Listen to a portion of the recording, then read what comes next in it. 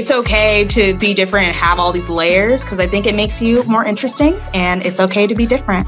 Welcome to Learning from Experience, a podcast for college students and recent grads who want to hear directly from alumni on how they've adjusted their lives post graduation, including personal stories of success, career readiness, and tips for navigating the real world. Created by the College of Liberal Arts and Sciences at Arizona State University. I'm your host, Megan Finnerty, and today I'm talking with Judge Elaissia Sears. A little bit about our guest. She graduated from the college in 2017 with a degree from the School of Politics and Global Studies. While at ASU, she worked as a legislative assistant in the Arizona legislature. Then in 2018, Elaissia ran for Justice of the Peace in the West Mesa Justice Court.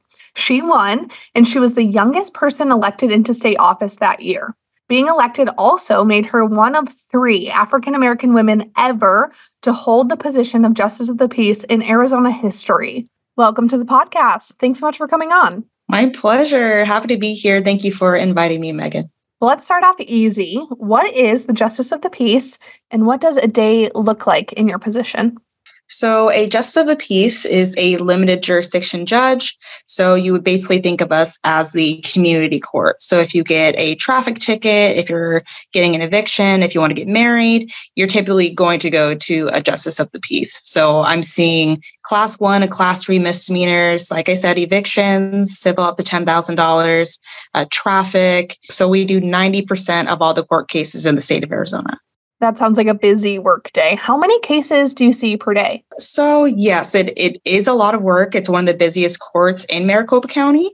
Uh, I would say on a day to day basis, I'm seeing at least 30 people. I mean, it, it really ebbs and flows, but um, I'm seeing, yeah, hundreds of people a month, definitely.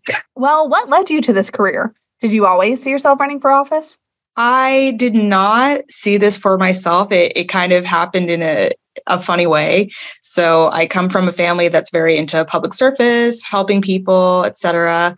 Um, but I actually went to school like the the global studies degree right so i did exchange programs i i took classes i mean i really had amazing professors um, in global studies so dr charles ripley Dr. Miki Kittilson, um, just really great people to learn from and get you excited about what's going on. Um, so, as I got to the end of my degree program, I wasn't really sure what I wanted to do. I knew that I wanted to look into the Foreign Service because eventually I was thinking about becoming an ambassador. Uh, but I fell into local politics by working at the legislature. My mom had ran for office two years prior and won her election to the school board and became the first person of color ever elected to the Mesa Public School Board, which is the largest school board in the state of Arizona. So it's funny because people always ask me, "Oh, was it because of your mom?" I'm like, no, I was I was in college. I was focused on my degree. I was going a totally different direction. I never planned on being local. I always wanted to work on diplomacy with other countries and things like that. But through a, a couple of different experiences, like the private prison ordinance being passed in Mesa. That was one of the, the catalysts. Another catalyst was when I was actually working at uh, the Capitol. There were a lot of kids that came to the Capitol one day and they were setting up chairs. And I thought that was a little bit odd because they're clearly in middle school. They should be in school. It didn't look like they were actually participating in an event. So I asked another legislator, hey, you know, what's going on with these kids?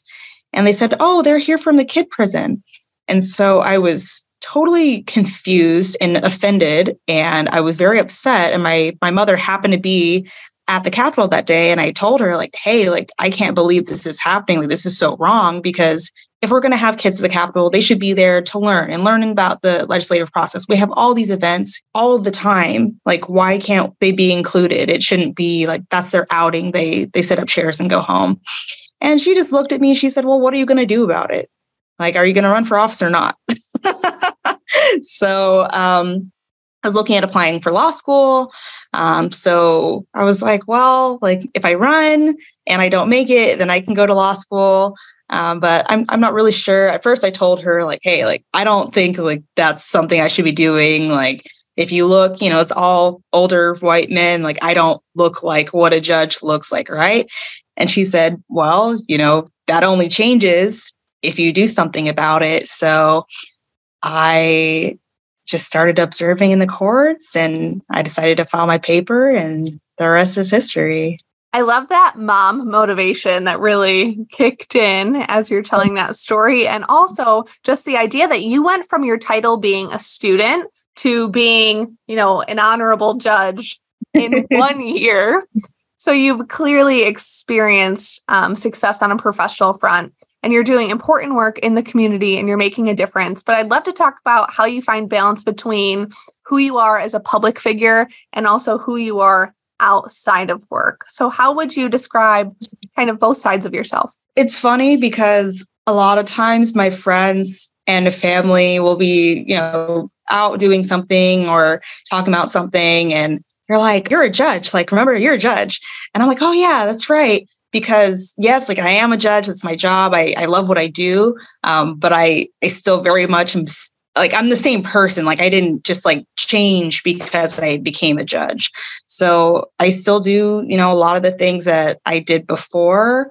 Um, I like to think I'm a creative person, not art wise, but one of the things I do for my work life balance is I do a lot of yoga. I'm actually getting my certification, my 200 hour certification. Uh, I also do belly dancing. You know, I like to go out with friends. I, I travel a lot. Like, I very much am serious about the international relations thing. I love language. I love culture. I love just going out there and obviously the food. I eat a lot of food. So I would say that's kind of how I keep myself balanced. On the professional side, how do you prepare or approach working in a position of power and in community service?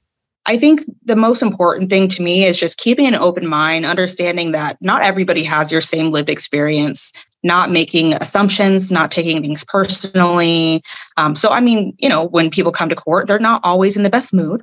Uh, so I just try to give them grace and meet them where they're at and see if there's anything I can do to make their experience more positive.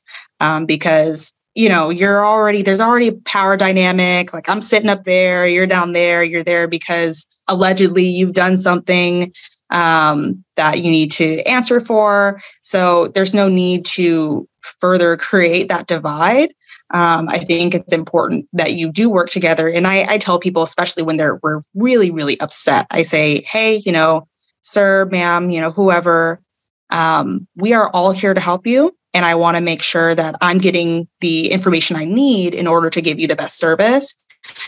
So, you know, just kind of massaging them and getting them to uh, get more relaxed. And I mean, I've even had people send me flowers to the court saying, you know, thank you so much for taking the time to to speak with me and, and work on my case. So I think that definitely shows that I care and that I put a lot of work into building that empathy um, into what I do because not everybody does. And it's not like you have to, but I think that is the right thing to do.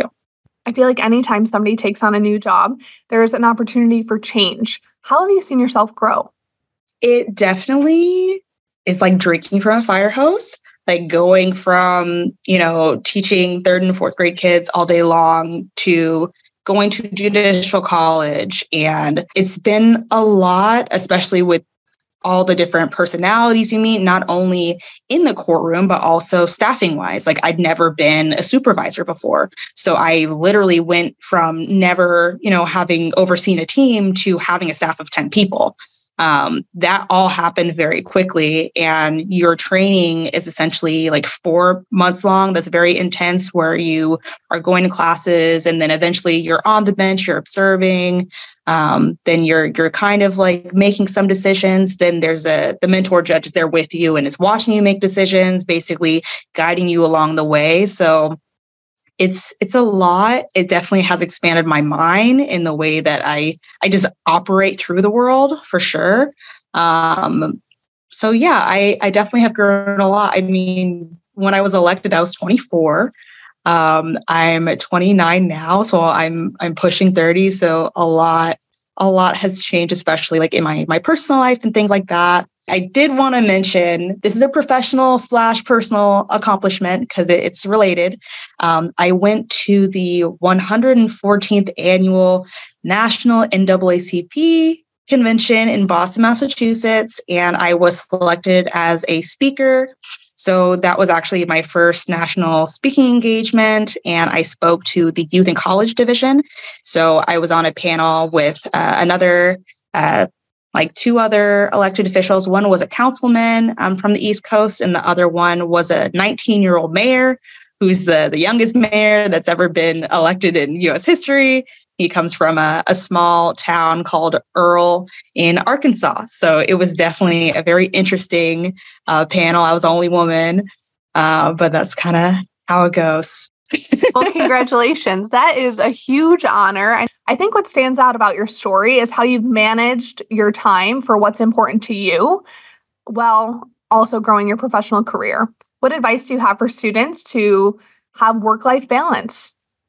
I would just say, please, like, get some hobbies. Like, don't just, you know, be working on your papers all the time. And even, you know, post graduation, just like, oh, what's next? What can I accomplish next? Because I totally get that mindset because like I've been there. I still always am like reaching higher and seeing what I can achieve. But you're not just what you can achieve. You're not just your accomplishments. Like you do have value just you as as it is. Just being here just existing is a, a beautiful thing. Go back and think about the things you liked as a kid. That's what a lot of people tell me your 30s is about. And i mean you you don't have to wait till you're 30 you can start now. You make time for the things that are important to you. And at the end of the day the most important thing is pouring into your own cup. Because if you like me, like I have a lot of people who depend on me, uh, not just staff or family or friends. Like th- there's just a lot that's asked of me, um, especially where I'm at. And if I don't take care of myself first and pour into myself, like there's just no way that I can serve others. So always serve yourself first because you are the most important person in your life. That's so true. And taking care of yourself really does need to be a priority. So, as you're looking towards your future, do you have any ideas of what you'd like it to look like? Yeah. So, when it comes to the yoga, which is funny because I started doing that when I was at ASU because there were free classes that were offered. So I would just go whenever I had time. Um, and I felt like leaving my dorm room. Um, but that was super awesome. So I carried that with me to the pandemic because everyone was trying to figure out, you know, how to do mental wellness in these uncertain times and unprecedented times. Um, but I ended up joining a studio once it was safe to be in person. And at first, I was just like, oh, you know, I want to continue building up through exercise and everything. Uh, but the more I did it, I realized that a lot of people can benefit from yoga and meditation and breath work, and a lot of people don't see it as accessible. So I decided to go into the yoga teacher training. And when I started it, I wasn't sure what that was going to look like for me at the end. Uh, but now I'm, I'm, less than three weeks from d- being done. And what I've decided to do is literally go forward with having a yoga business.